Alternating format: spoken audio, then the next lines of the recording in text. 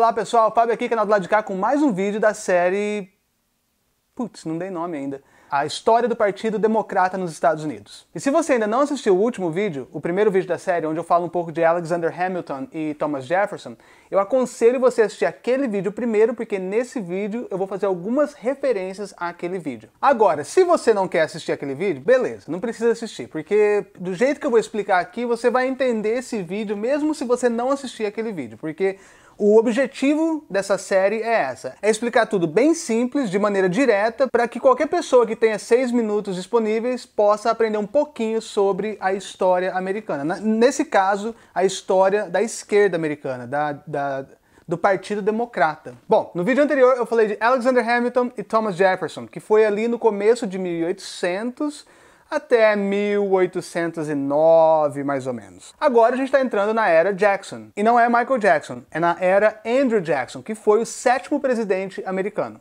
E o ano que aqui nesse vídeo eu vou estar me referindo à era Jackson é ali 1828, 1829, porque teve um período de ascensão. Antes da eleição do presidente Andrew Jackson, teve um período de ascensão, onde o povo começou a gostar dele, ele começou a ter umas ideias meio diferentes, e daí que ele se candidatou e perdeu, e daí ele se candidatou e ganhou uh, o seu primeiro mandato. E mas daí você me pergunta, mas Fábio, como assim? Você terminou o último vídeo em 1809, na, ali na época de Thomas Jefferson, e agora está em 1829, na era Jackson. Nossa, dá uma confusão, né? Jefferson, Jackson. Mas o que, que, que, que aconteceu nesses, nesses últimos 20 anos?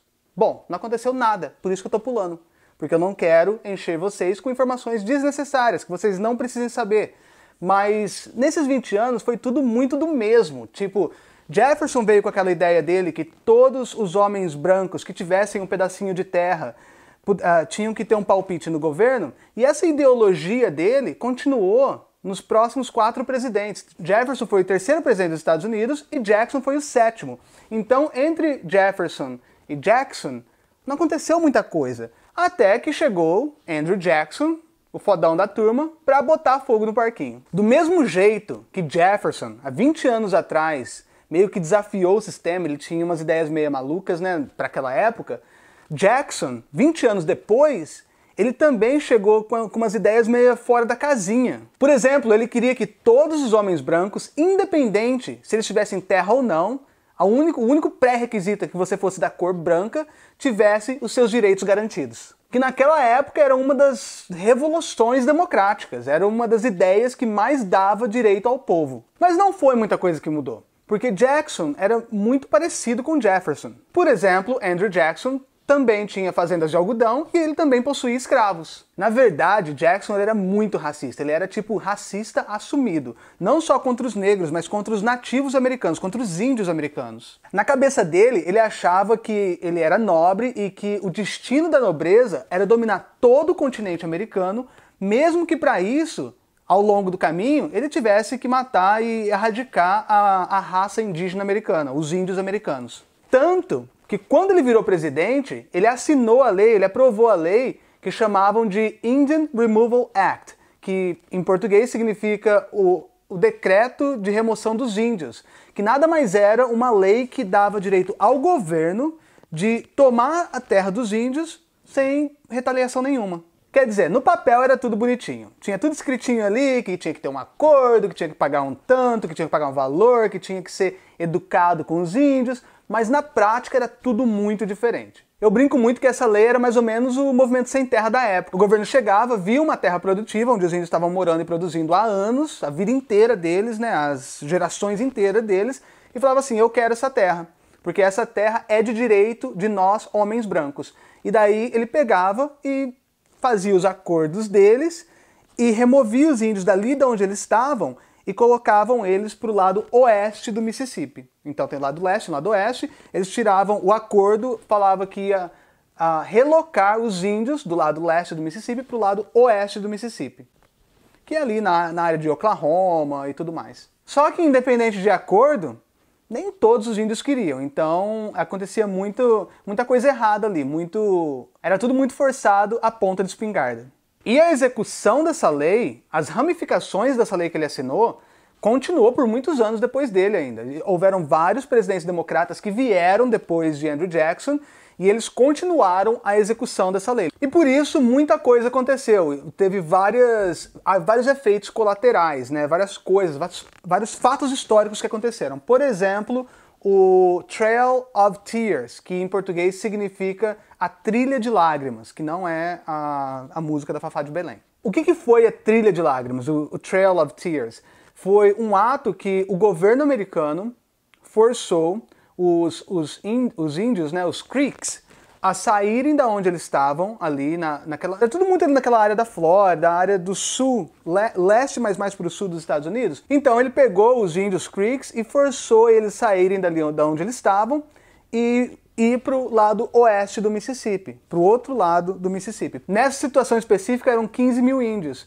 E nesse processo de tirar eles da onde eles estavam e levar e mandar eles para o lado oeste do Mississippi, Desses 15 mil índios, 3.500 pessoas não aguentaram a jornada e morreram. E é por isso que essa situação, esse ocorrido, ficou conhecido como a Trilha de Lágrimas. Um outro evento muito conhecido, que meio que aconteceu por causa dessa lei do Andrew Jackson, foi a diáspora dos Cherokees. Não o carro Cherokee, o Cherokee, o índio americano.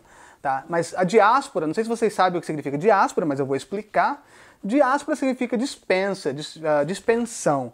Então foi quando o governo americano queria a terra onde os Cherokees estavam, e alguns Cherokees falavam assim, ó, até que, até que esse acordo tá bom, eu vou, eu vou concordar e eu vou, eu vou remo, não remover, relocar. Mas nem todos os Cherokees concordaram. Então, enquanto tipo 2 mil, sei lá, concordaram e foram pro lado oeste, alguns ficaram e falaram, a gente vai lutar contra o governo porque essa terra é nossa. A gente não vai uh, ceder para o governo. Porém, o que, que o governo fez? Pegou o exército deles, lá, pegou o army deles, com a ponta de baianeta, foi lá, juntou tudo, todos os Cherokees e expulsou eles da aldeia deles, da casa deles, a cutucão de baianeta.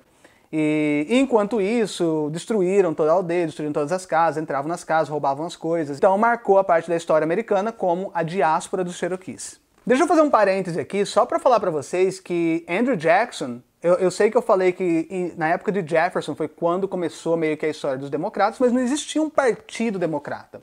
Porque naquela época tinha o federalismo, que era até a, a época de Hamilton, e tinha os antifederalistas, que era Jefferson e as pessoas que vieram depois dele, que era contra o federalismo, mas não era chamado Partido Democrata. E, e até na época de Jackson, de Andrew Jackson, não existia esse lance de campanha, campanha eleitoral para você ser presidente. Era mais ou menos assim: você falava que queria ser presidente, as pessoas da nobreza que estavam à sua volta falavam de todas as suas virtudes, o povo votava baseado no que aquelas pessoas estavam falando, mas você mesmo não fazia campanha, não fazia promessa, não ia e falava, ó, oh, vou fazer isso, isso e isso. Eram as pessoas, a, a voz das pessoas à sua volta que, que meio que fazia campanha para você. E quando Andrew Jackson chegou, ele meio que mudou isso, sabe? Ele foi, ele fez campanha, ele prometeu isso e aquilo, e com isso ele conseguiu tipo 80% dos votos. Principalmente porque ele prometeu que todos os homens brancos, independente de pedacinho de terra ou nobreza, teriam seus direitos garantidos. Com isso, ele já conseguiu aumentar um pouquinho aí a base de apoiadores dele. E um outro parêntese que eu vou fazer aqui é para falar do logo do Partido Democrata, né, que eu não falei no primeiro vídeo, mas se você percebe, o, o, logo do Partido Democrata é um burro, é um jumento. Um jumento ou um burro, não sei. É um, é um burrinho. É um burro chucro. E, e, o motivo que, que é um burro é por causa do Andrew Jackson. Porque o Andrew, ele era um. O Jackson, né? O presidente Jackson, ele era um presidente muito, muito teimoso, cara. Muito teimoso demais. Tipo, taurino mesmo. E, e ele vetava, porque ele acreditava que o governo tinha que ser pequeno, que o governo não tinha que ficar se matando para cuidar do povo. Ele queria a posição de poder, mas não queria fazer nada. Então, o que, que ele fazia? Ele vetava tudo. Tudo que chegava para ele, ele vetava. Ele era do contra em tudo. Porque ele não queria que o governo controlasse nada. Então, e não sei se vocês sabem, mas a palavra para burro aqui é jackass, né? E, e, e, no caso dele, o nome dele sendo Jackson, quando os jornais e a, a mídia da época, né, os panfletos, ia fazer alguma alguma matéria sobre ele, eles colocavam a, ima a imagem do burro meio que fazendo um trocadilho com a palavra jackass e jackson. E, e, é por isso, e foi aí que foi adotado a imagem do burro com relação ao Partido Democrata e acabou virando o logo do Partido Democrata. E mais uma coisa que talvez você esteja ou não interessado em saber é que Andrew Jackson, ele era maçom.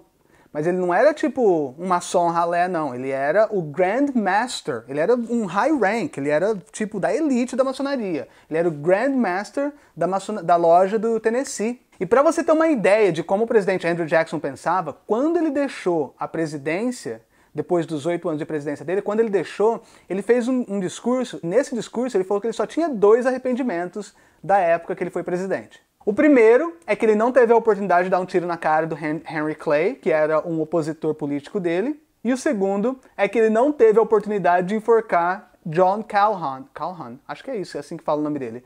Mas que foi vice-presidente dele e traiu ele. Então por aí você vai vendo como ele era meio fora da casinha, né? Outra coisa que a gente ouve muito democrata falar aqui é que Jackson foi o primeiro homem do povo, homem do povo, o homem que não veio de nobreza, a conseguir se candidatar a presidente. Ah, e a esposa do, do, Jackson, quando foi a campanha de reeleição, ela foi muito atacada. Todo mundo atacava muito ele, mas todo mundo atacava verbalmente a esposa de Andrew Jackson também.